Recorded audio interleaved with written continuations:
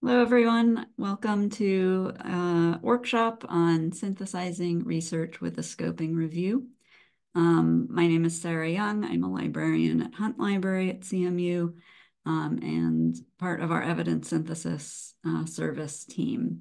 And my colleague Melanie Gainey um, is one of our biology liaison librarians, director of our open science program, and also on our evidence service uh, synthesis service team and we're happy to be here today to present this workshop to you. Um, our team uh, of evidence synthesis librarians consists of Melanie and myself, as well as Ryan Splenda and Hao-Yang Lan, who are both also liaisons to different departments in the colleges uh, here at CMU. And we're here happy to help with any questions you might have about um, evidence synthesis projects, including scoping reviews, which we'll talk about today. So today's session is um, really covering, firstly, evidence synthesis broadly and where scoping reviews fits into that uh, suite of methods. We'll talk about question development and developing protocols, conducting searches for scoping reviews, um, some thoughts about screening search results from your scoping review searches, and finally, um, some guidance around reporting and documenting for scoping reviews. So thinking about evidence synthesis broadly, um, we think about this as an array of methods that can be used to combine information across multiple studies that have investigated the same thing.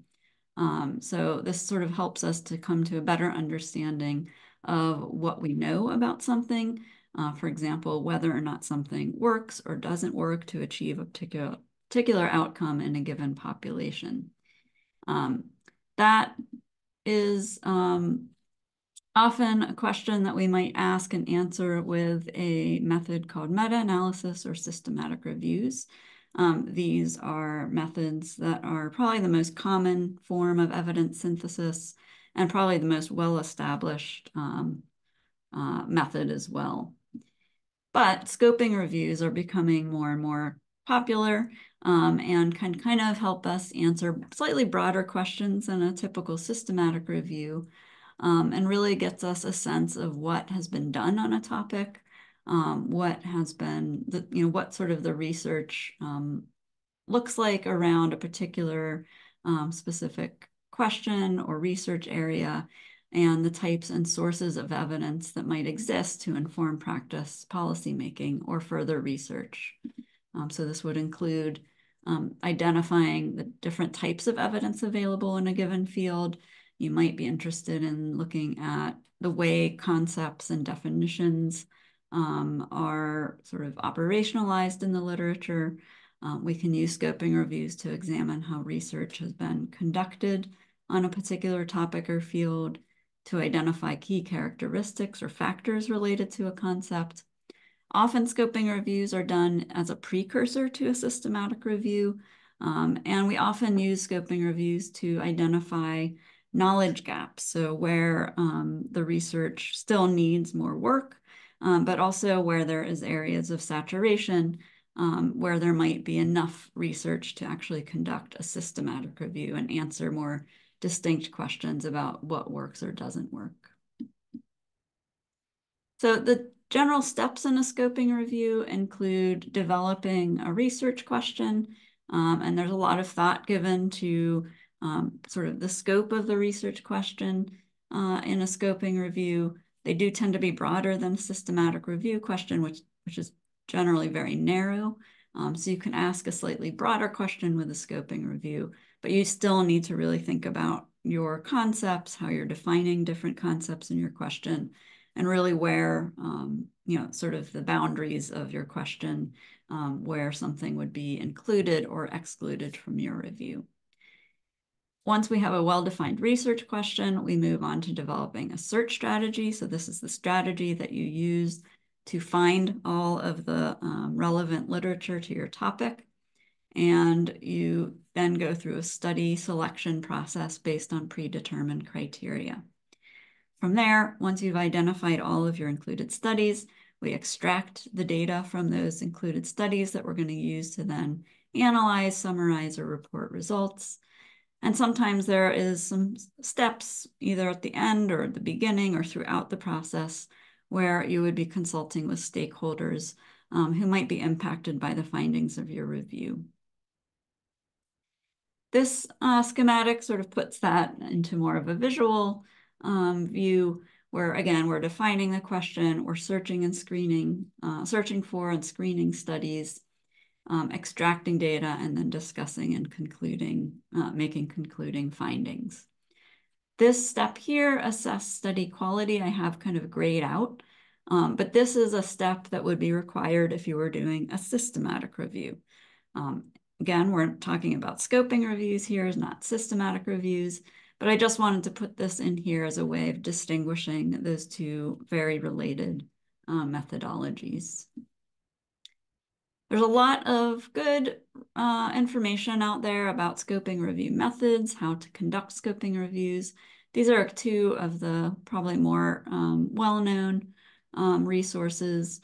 The Joanna Briggs Institute, I think actually they might just go by JBI now, um, puts out, has a really good and thorough um, scoping review guidance document. Cochrane, which is largely medical and health focused organization, um, also has some good training materials on scoping reviews.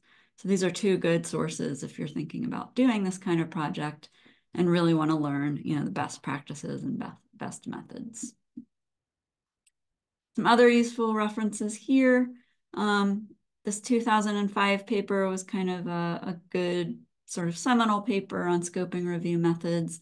Um, it's been updated more recently in 2010. Um, and then there's this really nice paper that sort of distinguishes systematic review from scoping review. It can be a little bit tricky sometimes to figure out if your research question fits into one um, of these methods. So this is a nice paper that helps you kind of make sense of the differences between the two approaches. All right, so with that overview, let's dive into um, sort of the beginning portion of, of conducting a scoping review, which is really just formulating your research question.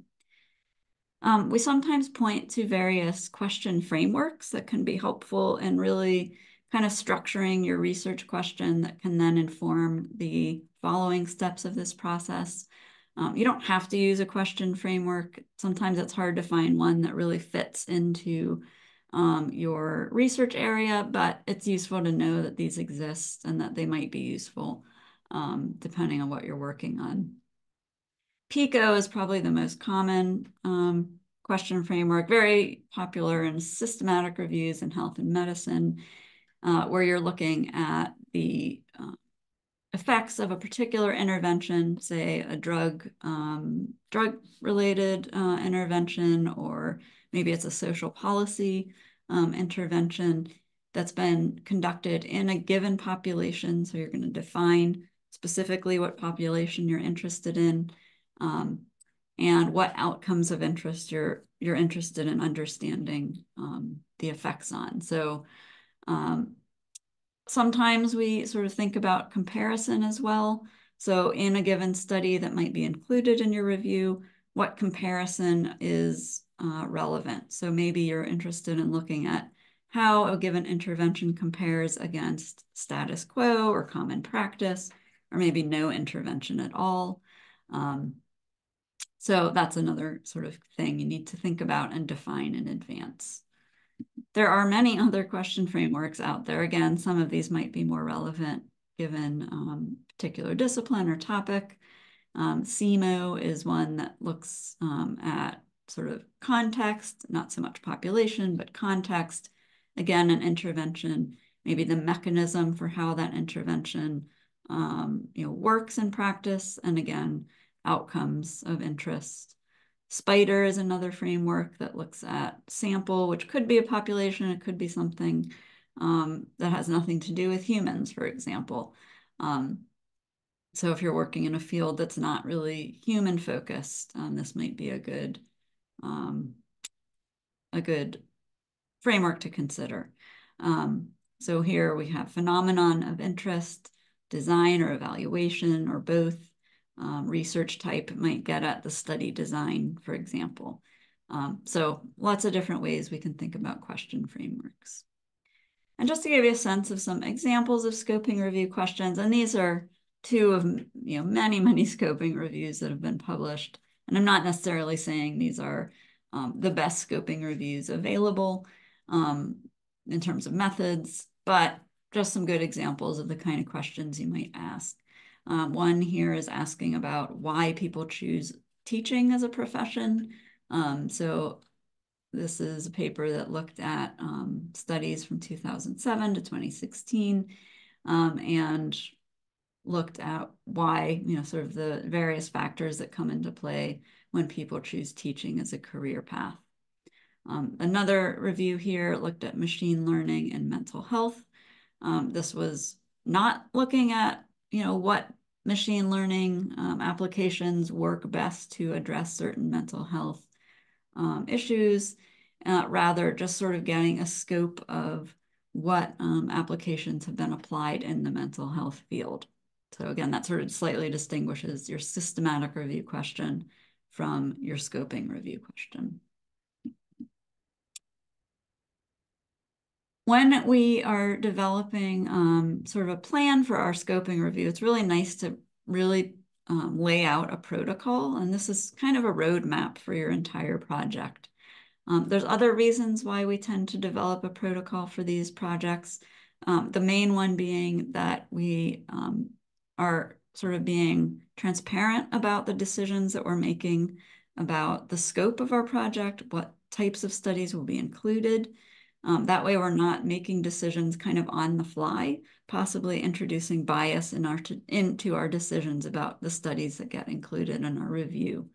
Um, so it can be really nice to um, lay out this protocol, everything from your question formulation to the search strategy that you're going to use, even um, the analysis that you are going to plan to do with your studies. And you can make this publicly available in a platform such as Open Science Framework, um, where you can publish and register your protocol. And we have some information about Open Science Framework here, this link. Um, and we're happy to help, you know, walk you through this process of registering a protocol here. Okay, once you have formulated your question um, and you have a well-defined, well-scoped research question for your review, you go on to conducting, developing, designing, conducting your searches. Um, we tend to think about searches for reviews as um, very sensitive as opposed to precise in a scoping review. In other words, we are hoping to capture as comprehensively as possible all of the research that has been conducted on your topic, as opposed to, you know, just a handful of studies um, that might be relevant. This is a nice analogy, um, sort of a typical lit literature review where we're not trying to be comprehensive. Maybe we are just sort of thinking about um, the studies we already know exist, or maybe we're looking at some key authors and what they've studied. Um, if we use this fishing analogy, we can think of that as kind of just, you know, casting a fishing rod into the stream, looking for a few trout in that stream, um, not really trying to get, capture all of the trout in the stream, but just, you know, with a specific bait, um, capturing a few trout to sort of give us a sense of what that literature looks like. Um, on the other hand, a scoping review or systematic review, again, is aiming to be comprehensive. So we might sort of view this as an ocean trawler. We're putting out a huge net, capturing all of the fish in that particular area, um, which is going to include all of those trout, but maybe also a lot of other types of fish um, that we don't want, where we actually going to have to manually screen those out. Um, but we're left with a much bigger comprehensive picture of what actually exists on the topic. So we take um, a systematic approach in these reviews and doing these comprehensive, broad, um, sensitive searches. Oftentimes it's useful to start by looking for related reviews. Number one, you don't want to be repeating work that's already been done. Um, so make sure someone hasn't already done a scoping or systematic review on your topic. But also with published systematic reviews and scoping reviews, um, if they're done well, they've reported their search strategies. So this can be a great place to um, get a sort of starting point for a really good comprehensive search strategy on a topic. Um, so this is sort of a good, nice first step um, to developing a search strategy for a review. Once we've done that, we tend to start with well-structured databases. We'll talk a little bit about um, how to select databases uh, for our review. And we conduct and design searches for um, just the sort of well-structured academic databases.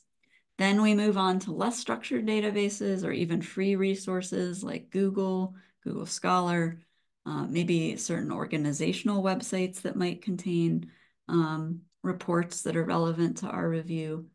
Um, and then we move into, this would be sort of the gray literature or conducting the step of hand searching, uh, which is really about looking at, say, tables of contents of relevant journals that might not be fully indexed yet or covered in the databases that we're searching. As a final step, we do citation tracing. So this is when we take the included studies in our review, we look at the references in those studies, and we might even look at who has cited those studies using a tool like Google Scholar, for example. Um, this is a nice final step to ensure that we're capturing all of the research even stuff that we might have missed in these comprehensive database searches. So um, again, we're wanting to search a range of databases. Um, we might choose, first of all, key databases in our subject area. Um, as an example, if you're doing research that maybe is related to education, we would probably want to search ERIC. ERIC is a key educational academic database. Um, we often also search sort of the broad, big multidisciplinary databases. So that would be something like Scopus, Web of Science. Um, these are two really big, broad uh, academic databases that cover all disciplines. And usually we do include at least one of those in our scoping review. Um, and then there may be other databases that might have literature um, that sort of has some impact on your question. So if you're asking a multidisciplinary question, think about all of the disciplines that will come into play and thus all of the key databases um, that might be relevant to that search. I uh, want to think about also geographic focus possibly. There may be some regions of the world where there are specific databases um, that help us get to research being published by that region if it's relevant to your topic, um, which may not be well covered in some of the um, other databases that we have through the libraries. Um, Google Scholar is great, um, but it cannot replace um, the work of the academic, academic databases that you have access to through the library. This is in part because it is not, um, it really just has some functionality that makes it really difficult to use for these sorts of searches. Um, it's a great supplementary source, um, but not useful as a key database in a scoping review. And we certainly encourage you to work with us. Uh, we can point you to the right resources, help you choose which databases are appropriate for your review. Um, and just sort of covering some of the stuff that I just mentioned. Scopus, Web of Science, great multidisciplinary databases um, to include some examples of the more disciplinary databases, uh, depending on what topic or discipline you're working in.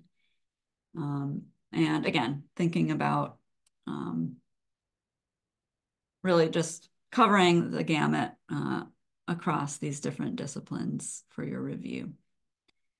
And with that, I'm going to stop my screen share.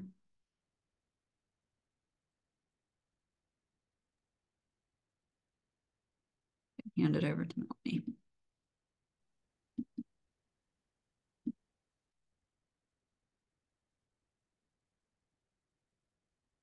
Okay, hi everyone. Um, next, we're going to be talking about the screening phase of your scoping review.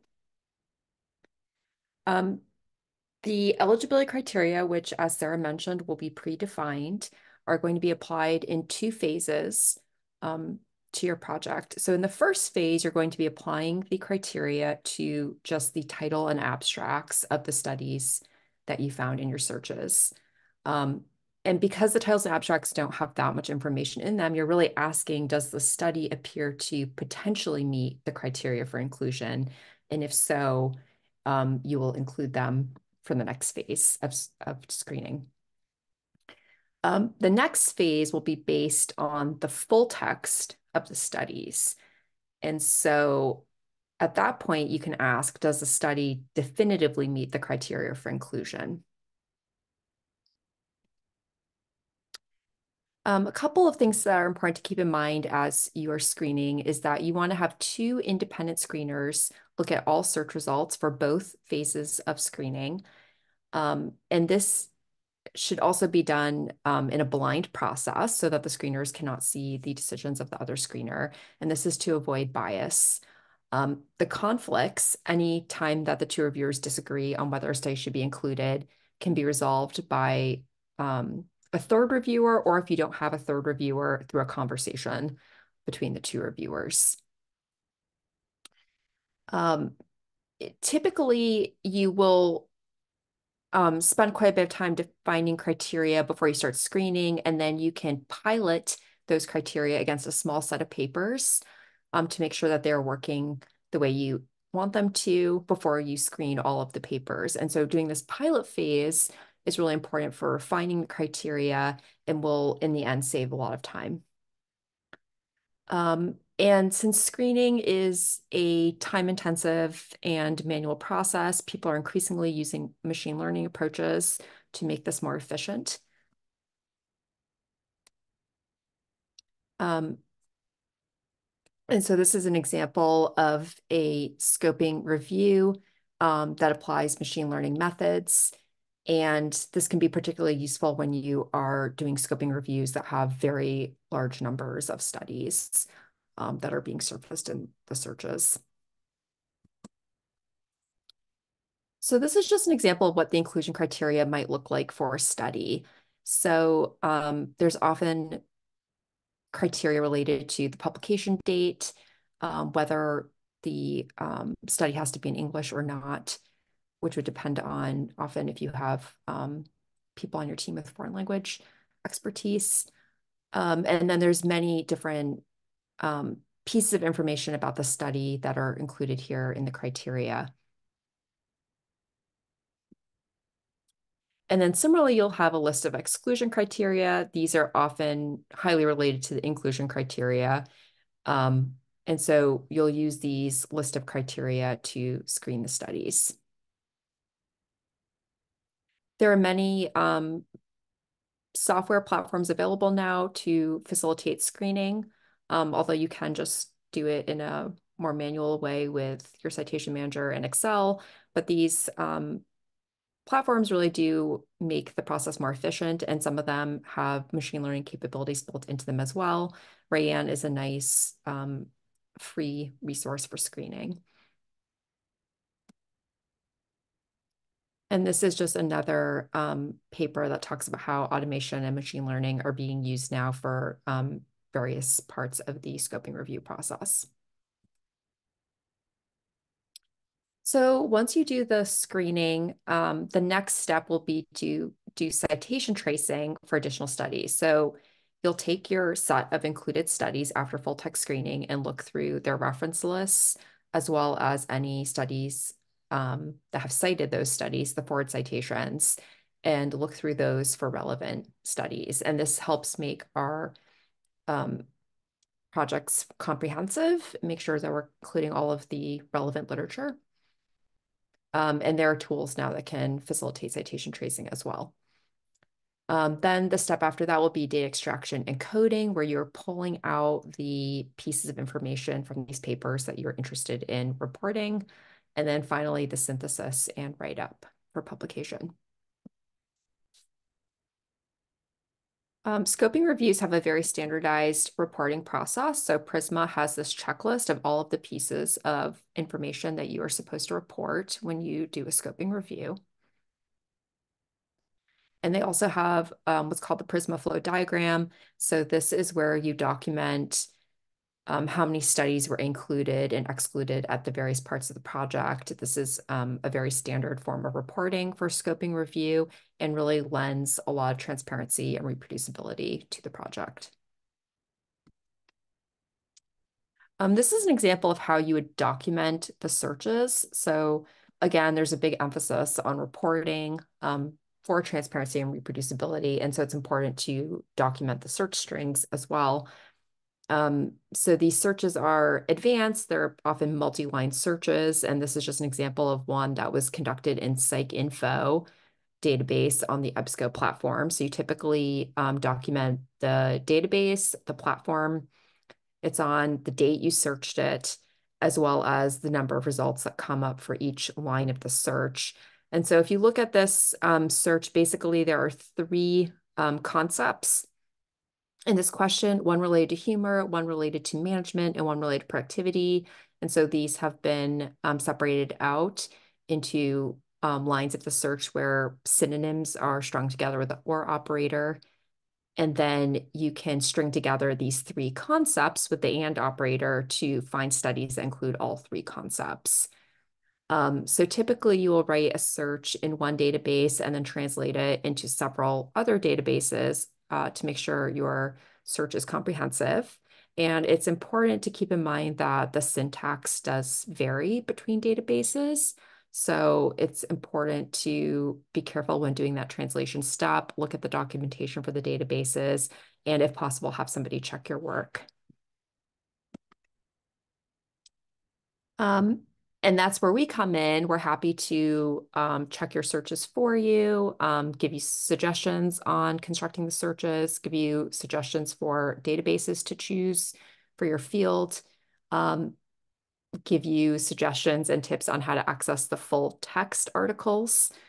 Um, and so we're really available to um, give you guidance on a lot of different parts of these projects.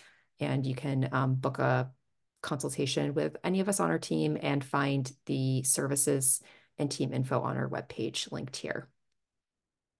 Um, so thank you. And um, again, please get in touch if any questions come up um, in your evidence synthesis projects. We're happy to help.